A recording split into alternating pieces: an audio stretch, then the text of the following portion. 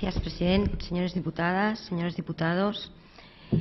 En esta moción en la que debatimos un aspecto del desarrollo de la sociedad del siglo XXI que probablemente será el de mayor trascendencia en los nuevos modelos sociales y económicos que marcarán el futuro a corto plazo, es cierto, como dijo el conseller durante la interpelación previa a esta moción, que el modelo de desarrollo en este ámbito no puede hacerse únicamente desde el Gobierno, sino de la mano también del sector privado.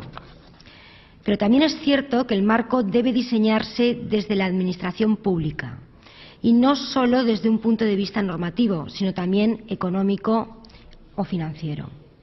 Ya que en el pasado pleno el conseller habló de que nuestro sector no compite solo a nivel estatal, sino también internacional, observemos el panorama internacional.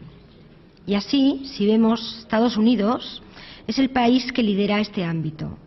Y es preciso tener en cuenta que ni lo ha liderado desde siempre, ni lo hace ahora por casualidad.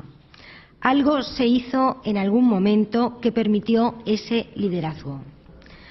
Poco antes de la Segunda Guerra Mundial se puso en marcha en ese país un plan para elevar su nivel científico y tecnológico. ¿Y en qué consistía ese proyecto?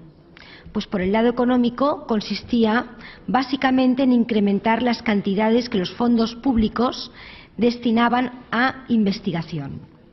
Por el lado normativo, en fomentar un modelo de patrocinio y consolidar la infraestructura necesaria para llevar a cabo proyectos innovadores, tanto en el ámbito académico como entre los emprendedores. Esas dos acciones son responsabilidad de la Administración y cuando el sector privado se vea beneficiado por el marco adecuado, se dinamizará empleando los recursos que son propios del impulso de la iniciativa privada. Tomemos como premisa que existen dos modelos de negocio por un lado, tenemos uno basado en, en la especulación, digamos. Por otro, tenemos los modelos de negocio que surgen del uso de las nuevas tecnologías.